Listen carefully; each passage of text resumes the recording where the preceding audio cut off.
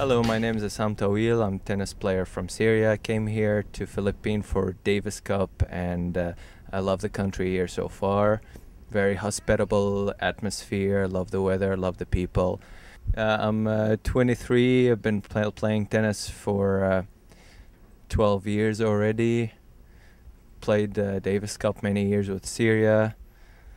Yeah, most uh, enjoyable memory for tournaments was Davis Cup last year in Iran when we qualified to Group 2. Currently, I live in Cairo. I've been living there for the past three years, playing some uh, professional tennis in Egypt. I'm pretty excited to play the tie against Philippines here, even though it's on their homeland, but still, I think uh, we have some good chances, hopefully.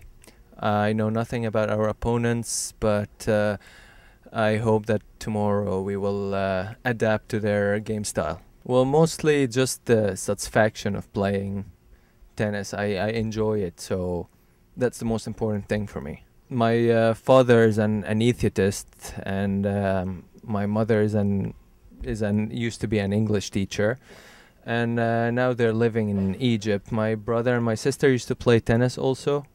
They were uh, they were good, and uh, my brother is now a coach. My sister is now just living in the states. Uh, a lot of girls are pretty hot, I see. I mean, but mostly I think Sharapova, Ivanovic.